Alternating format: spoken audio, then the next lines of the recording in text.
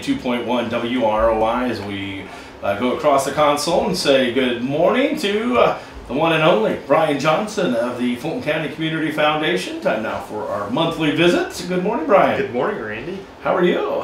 I'm all right. Although Great. I think winter may Maybe be on the cusp of being here. Uh, I, I think it is here. okay. It, it has already reached the high for today of 33 degrees. So, Oh, okay. yeah, Well, I think since we all know that the radio station controls the weather, that's what a lot of people think that. Yeah. Uh, like I say, I just don't shoot the messenger. I'm just the messenger. Okay. Well, we'll try not to. So, but, hey, we've got a lot of things going on at You the do. foundation. It's End of the year is kind of a busy time, so I've got a number of things here that I wanted to cover. Um, first off, wanted to start off with a note about scholarship applications. Um, we're looking at December 1st as being the date when our application will be available on our website. Okay. Um, so if you are a graduating senior, looking forward to graduating in the 2022-23 school year from high school, check that out. We've got um, over 50 scholarships that apply for Fulton County students. So It's amazing. Check that out. Um, you'll have a little bit of time. Um, first part of February is when that application is due, but um, some of the different scholarships have different criteria, uh, may include some different pieces of information that students may need to obtain from other sources. So um, please check that out December 1st, nicf.org. Um, I had a couple of notes from our scholarship coordinator, Shannon Berger, said, um, make sure you have email addresses correct of people that you're asking for a reference from, if that's included in the scholarship, because they get an email from our system saying, so and so has asked that you complete this information. If that information is not accurate, then they don't get that email. and then you so- don't finish your application. There you go. So please make sure that you have that information accurate and handy when you're doing the application. And when you're done with the application, there's a submit button. So make sure that it's complete, but make sure that you also hit the submit button because if they don't hit the submit button, then again, they won't be eligible for those scholarships. But um, thank you to the donors that make these possible. Um, it's really neat to see how our community supports students. Um, when we think about 2022, we had over $160,000 in scholarships that went to local students, and that's just an amazing number when you think It about it. It is. That's crazy. So, December 1st, nicf.org, check that out. Um, another thing that we've got that um, students may be interested in, um, we do have the opportunity for some internships through the Community Foundation. Um, we have had the opportunity to have interns that are current college students um, through the last few years. Um, Lilly Endowment Inc. has provided us with some funding to be able to do that. And so we're starting that process looking for um, a student that may qualify for that. So um, current college students, um, I know last year, um, the last couple of years, we've had the opportunity to have a student that had part of their college done before they graduated as a senior in high school. So um, we don't know, that's often a case by case basis. So if there's students that are listening and that say, hey, I may be interested in this and I have maybe some college classes under my belt and um, they want to reach out to us, that's something we don't know always, but we can ask There and see. So if, if somebody's listening and interested in that, um, our marketing director, Hannah Bainey, is the person to contact on that. You can reach out to her by email, Hannah, and that's H A N N A H at nicf.org, or give our office a call 574 223 2227. Um, and that would be looking for some students for internships. Perfect. Great opportunity. Great opportunity, and we've we've been fortunate to have some really great interns work with us, and hopefully they feel the same way. and um, looking forward to helping those students get their start in in learning about the work world. So. Um, something else that has been a big thing that we've been working on over the last year and a half um, is a software rollout. Mm, we have a new database um, that we've been using, and just last week um, we made that available to Fund Founders online. Um, of course, with anything new like this, there's always a few times where messages may not get delivered or um, emails may go to junk mail or spam. So um, the new software allows donors to be able to access information about their funds online. Um, things like fund statements, information about donations, um, things like that, and it's it's a really great system. So I'd encourage if if we have fund founders listening and are interested in um, getting involved in that, um, give us a holler. We sent out two emails last week. Um, they should have received one hopefully on Monday saying this is coming. And then around Wednesday or Thursday, another email with some um, information about how to create an account through the system. If you didn't receive either or both of those emails and you'd like to be included in that, give us a holler. Because it's, like I said, it, it's a really great system and, and donors can look things up. Um, if you have a donor advised fund, um, those donors can make um, grant requests um, and make suggestions about where the monies from their fund are spent, and that process can be completed online as well.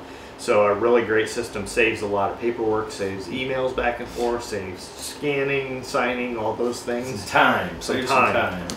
Uh, makes it simpler for donors to actually be able to look up organizations and and say, hey, this is where I want my money to go. This is how much, and click send, and it Done. comes to us, and it's a, a great process. So if you didn't receive that email last week, either of them, let us know, um, and we can get you set up on the um, system. And if you have, if you did receive it, you're having any issues with us, don't hesitate to reach out to us.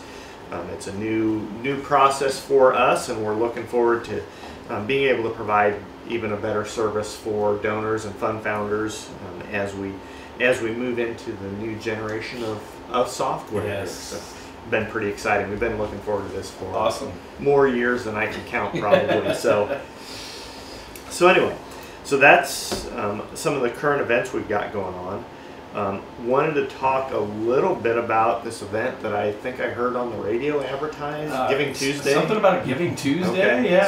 Sound- yeah, familiar to Sounds you? familiar. I've heard heard a little bit about it. Well, we're a little over a week away from Thanksgiving, Yes, it and so um, Giving Tuesday. Of course, we have Thanksgiving. Then you got Black Friday. You'll probably be standing in line somewhere at like three or four o'clock on Uh, no. Friday. Me neither. No, no. Um, I've got done that once. That was enough. Okay. Small Business Saturday, of course, is that Saturday after Mhm. Thanksgiving. The, the Chamber of Commerce is doing a great job of promoting the concept of shopping locally, shopping small. Um, then Cyber Monday.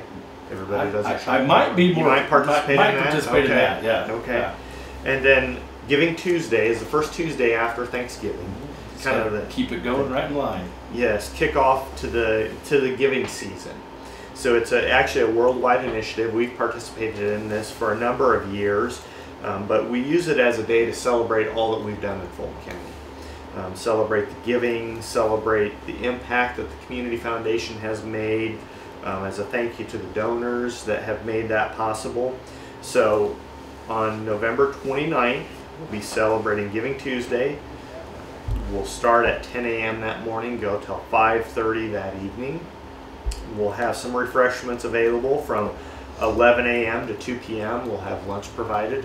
Rumor has it it's going to be pretty good. Mhm. I'm looking forward to it. Free lunches are always good. Free lunches is always good, especially when it's a good free lunch. That's right. So um, from 11 to 2, stop by the office. We'll have lunch. Um, we will have a drive-through option if folks want to just drop off a donation, pick up a lunch on the way through. Um, but we will have our office open, stop in, um, see some of the things that we've been able to do throughout the year. Um, rumor has it WROI will be there. Yes, they will. Okay, I think You- I think we got you guys scheduled Yeah. from 11 to 1 that day, so Nice. have some have some interviews with, Yeah, we'll talk with some- about yeah. some things that have happened over the past couple of years. Um, right around noon, we'll have the announcement of the 2022 Lifetime Philanthropy Award. Um, I think it'll be a it'll be a great celebration there. I'm excited for that announcement. Um, individual that's made a huge impact in our community. And of course, we also have some matching funds available. Yes. We've been talking about this a little bit. Um, we do have, um, thanks to the folks out at Rapid View, um, they offered us some matching for some specific funds and then also for our community fund. Um, they offered 5000 each for Fulton County Parks Department, Gem Art Educators Fund, Camp We Can, the 4-H Dog Club, and the Olive Jane Hathaway Animal Center Fund. Um, some of those funds have already met their matching goal. Um, a couple of them still have some that they need to raise. So if you're interested in Camp We Can or the Gem Art Educators Fund, of course, Camp We Can is a um, camp for individuals with unique needs um, that happens out north of Rochester each year. A, a wonderful opportunity, and the, the Gem Art Educators Fund is one that supports the art program at the Rochester Community Schools, K through Awesome. 12 provides things like art supplies, maybe if they have a special speaker at some point or a special project. Um, that fund helps support the art program at the school. So a neat fund there. And then we also have $50,000 that's available to the Fulton County Community Fund. And that's the fund that makes grants throughout our community. Um, thinking about some of the good things that have happened over the past few years. Think about if you're in Akron, they had a pretty cool summer concert series this year. Um, have done some things over in the park. Um, here in Rochester, last month we talked a little bit about the Rochester Youth League, a grant there. Um, you look around our community and just see the impact that these funds have made. Um, so we have up to $50,000 that is available for that. Um, we're a good ways into that, so um, we have a, about $10,000 to raise on that. Okay. So been very very well supported and, and really an amazing thing um, for our community. So and that will help us make more grants in the future. Yeah, that's just always a good thing. When we think about those community fund grants, you think about the fact that this year we're going to be able to, by the end of the year, grant close to three hundred thousand dollars to Wow. projects in Fulton County. So really exciting to be able to have um, supported so many good things and, and make an impact. And, and when we talk about grants, just kind of an example, um, one thing we've been hearing from our area food pantries has been the fact that they're seeing a pretty significant increase in the need. Um, a lot of people coming in for the first time that have maybe never needed to use a food pantry. And so our grants committee met a couple weeks ago and made the decision to grant to some area food pantries to- Awesome. to, support those needs. And it's really neat to see the impact um, that folks are ha- these food pantries are having in folks' lives that maybe, hey, I don't have any food. Where do I get food? Um, so these food pantries have really been a a life-changing things for a lot of people in our community. So thanks to to donors that have donated to our community fund, and thanks to the food pantries that are that are using these dollars to help support those in need in our community. So so again, Giving Tuesday, November 29th, 10 a.m. to 5:30. Come for lunch between 11 and 2. Make a donation. Find out about how we've used our funds this year. Um, just come and celebrate with us as we kick off this season of giving. Awesome. Looking forward to it. Um, one thing I wanted to mention today was end of year giving. Mm. We always have a conversation about this about this time of year because a lot of folks are thinking about, well, I need to need to do something here, or I'd like to support something. So, um, a lot of times people say, well, I can make a gift. How do how do I do that? well, you can walk in our door and drop off cash or write a check or something like that. But um, there's a number of other tools that are really useful for donors as well that a lot of times can be even more advantageous than somebody just walking in and, and dropping off a check. Of course, all donations to the community foundation are tax deductible, so that's often a concern for folks. But um, some other tools that we often see used um, this time of year, of course, end of year, a lot of people are thinking about tax planning. Think about um, what I can give and how that may affect my tax burden. Um, a lot of times we, we think about the concept of voluntary versus involuntary giving. And the concept of voluntary giving is giving that I can control. I can I can give that where I want. Involuntary giving, not to pick on IRS, but they're not going to say, well, you don't have the op. They're not going to say you have the option to give us Yeah. money this year. They're going to say you owe this much. Right. Um, part of part of that voluntary giving can actually help reduce that tax burden. So, if if we have folks live, listening, um, of course, every situation is unique. So I always encourage folks that my disclaimer is I'm not a tax professional. um, talk with your tax planner or your accountant to see maybe how a gift would maybe affect the taxes that you owe. So I always put that disclaimer in here and say, check, because a lot of times it doesn't cost as much. Right. When I say cost, it, you think about if you make a gift, it may reduce that tax burden some. Um, it doesn't cost as much as it sounds like. And you can make a difference. You can say, hey, I really want to support this. So I'm going to give to this. And in turn, it will reduce my tax burden. Um, some of the tools that we see employed a lot of times are things like stock gifts. Um, one neat thing about a stock gift is if somebody says, I want to make a gift and I have this stock that has appreciated. Now, I know market conditions may not be real great if you bought something at the start of the year, but there are still a lot of folks that have appreciated stock.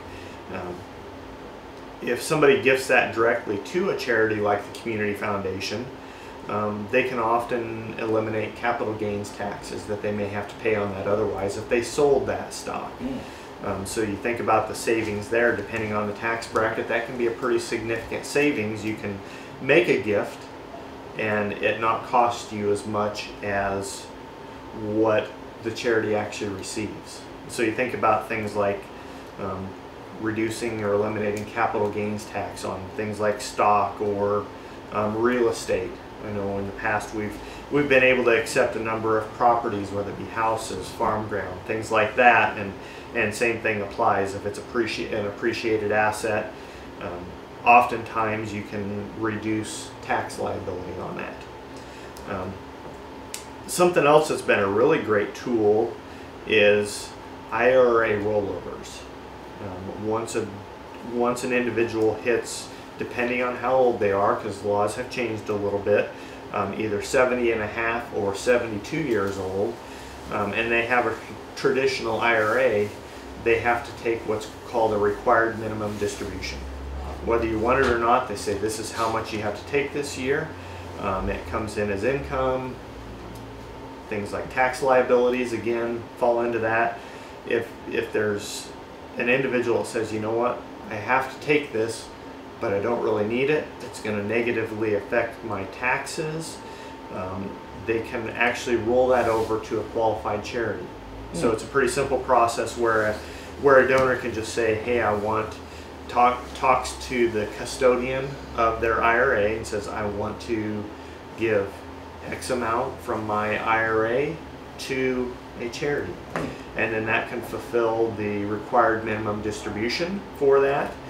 Um, and that can um, help with the tax situation again. Talk with your tax planner to see how that would affect it. But um, it's a neat, neat tool that donors have been able to use. Up to $100,000 per year um, is able to be rolled over from an IRA directly to a charity and fulfill that minimum required distribution and also make a impact in the community locally and that's that that's that voluntary giving that we talk about that donors can say hey i've seen this organization make an impact i want to help them and i can do it and use this tool so um, I just encourage folks as, as we think about getting towards the end of the year think about um, things like um, an IRA rollover or a gift of some sort and, and how that may help reduce tax liabilities while you can direct it to a cause that you're passionate about and a really neat way to, to be able to make an impact in our local community. So that's my plug for end of year giving. There you go. Obviously, we want to remind everybody again, Giving Tuesday Giving coming up Tuesday. November 29th. Yep. So uh, that, that's that's Plan. the big plan to join us. We're Yeah. looking forward to a good day, a good celebration. We were just talking about the weather. Said it'd be so- 75 degrees somewhere. Right, right, somewhere. Whether it's Yeah. Rochester or not, Just, just we don't know. It's a, pretend. It's It'll be warm in our office. There you go. We'll have some good snacks, some good food. And, and a drive-through, so you don't and have to get drive-through. If you So, say, "Hey, I'm coming on my lunch hour," you can get some food. You can make a donation. You can get that all done without ever having to get out of the warmth of your car. So, Awesome. so anyway, so encourage folks if you have time, stop by November 29th. We'd love to see you. Love to have you help us celebrate the impact the Community Foundation has made in our community. Brian, thanks for stopping by. We'll look forward to talking to you again on the 29th. We're looking forward to it, Randy. Thank you. Again, Brian Johnson of the Fulton County Community Foundation with his monthly report.